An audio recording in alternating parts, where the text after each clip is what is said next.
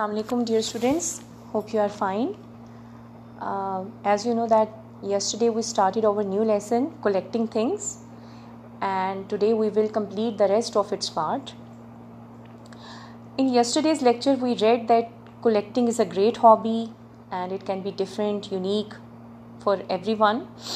And there is no any particular rule uh, to collect particular kind of objects right they can be anything and everything which is in your access they can be stamps shells butterflies hats leaves flowers books matchboxes and so many multiple choices there are to collect. And we talk about uh, collecting that we learn in the process of collecting uh, because we learn uh, how to apply skills in selecting, in classifying, and arranging the things or items. Right?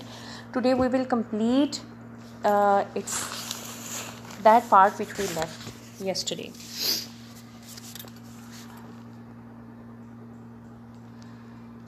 Please keep your pencils in your hands. How does a person start a collection? This is not an easy question as it seems First of all, you have to decide what you are going to collect. You will, of course, would be influenced by a number of things. In the end, you you will want to collect something that you are interested in. Your decision will depend on whether the things you wish collect are valuable, available near you. For example, it is not uh, if it is not in use it is no use collecting seashells if you are living miles away from the sea. Seldom visit the seaside and no no one living to the sea who might send you seashells. It is no use collecting flowers if you seldom visit a garden or the countryside. Students what did you learn from this paragraph in this paragraph they are uh, telling us that how a person can start collection and what to collect. You have to find out uh, the things which are in your access right? Which are in your easy approach. For example they have given us two examples. One example is of uh, seashells that if you are not uh, living near the sea uh, it will be difficult for you to collect them. Similarly uh, if you want to uh, get good collection of flowers then uh, you have to visit garden multiple times. So uh, you will have to uh, pay attention uh, over your accessibility and there should be a, a proper relationship between your interest and your access. On the other reason why stamp collecting was so popular is because stamps were easily obtained. Obtained mean they were easily approachable. It was easy for people to approach them.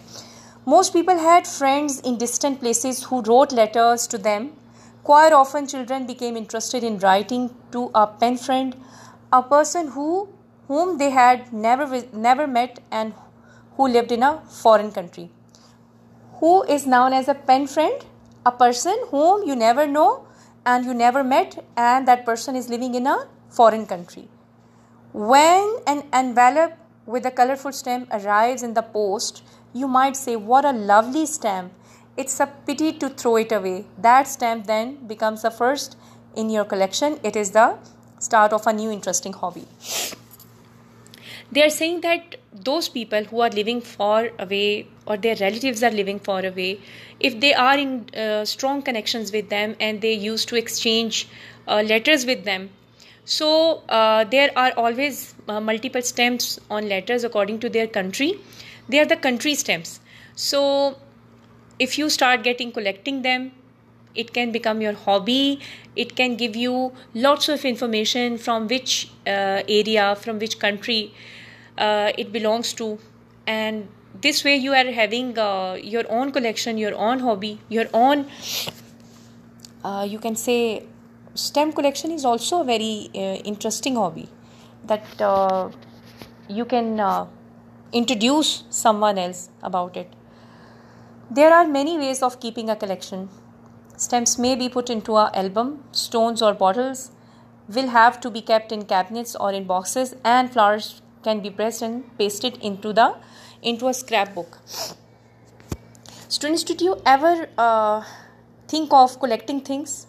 Or you uh, are, are you familiar with this paragraph? What they are talking about? That for different things there will be different arrangements to collect them like they said that if if you are uh, going to collect flowers then you should have to press and paste them in the scrapbook okay and stones should be collected in bottles and stamps should be collected in uh, albums at the same time. Come to the next page. Preserving flowers and leaves is quite easy. Now they are telling us the method how to preserve flowers. When you have picked the sample you want place it on a sheet of newspaper. Okay when i'm speaking all that explaining all that just imagining the things that you are kept the sample of flower on the sheet of newspaper right? Okay. Place the newspaper on a sheet of hardboard okay? On top of the flower put another piece of newspaper and another piece of hardboard. Put a few heavy books on top and leave it for a few days. If the flower or the leaves are juicy, you may need to change the newspaper. The flower will be ready to put into your album in about two weeks. Why they are telling us all this uh, method of uh, preserving the flower? So that the juice, uh, this is known as pressure um, or compression, you know, if you will put something uh, uh, some pressure on the flower on the hardboard they will squeeze all the juice inside the flower then they will be easily dried and they will be able to kept in in the scrapboard when the flower has been taken out of the press place it in some clean paper. Fix it with tiny drops of glue or the strips of gummed paper. Paste the whole pages in your album. In addition to putting samples of flowers in your record book, you will have to make notes about the flowers. You know, your learning will not be ended just here that you have collected the flower and you have uh, just pressed it and uh, um, uh, made it dry. No, after that, you will write, you will make a record of the name of the flower. You can record the name record the name, then, when, and where it was found, its size, the color and shape, and any other detail you wish. So, what you will got at the end of this detail? You know, that is information. You will get ample amount of information about a flower, its place, its, um, you know, from which place you have got it, and so many other details about the flower if you are good at drawing you can make drawings of the flowers and the plants that they come from this is here is a page from a flower record book can you see this page it is just like that. Okay so far students we have uh, what we have read here that collecting provides us relaxation for our leisure time for our leisure hours. As just looking at one's year is always a joy right? So uh, one more thing that your product or uh, collection often become more valuable with ages. So this is all about our lesson what is your task to do how would you uh, let me know that you have understood the lesson completely turn the page come to page number 41 here while reading. Do you have a collection? Talk about your collection with your classmates. As we have uh, not exactly, we, we are not uh, going to the regular routines of our classes. So, I would like you to write a paragraph if you have any collection, if you ever had collected anything, or if you uh, want to collect something. Okay? Suppose if you have any hobby, you will write about it. How did you collect it? From where did you take it? from how long you are doing that you will write all these information in just a paragraph uh, minimum 5 lines and maximum 7 okay? And write about you can uh, i i'm telling you that if you have not yet collected anything no problem.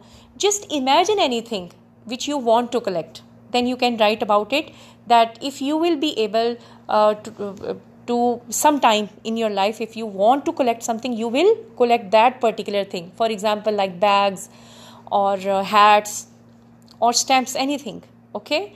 But do must write a paragraph about it. This is your homework okay? This is all about today's lesson. Inshallah with the activities of this lesson we will meet in our next class. Till then goodbye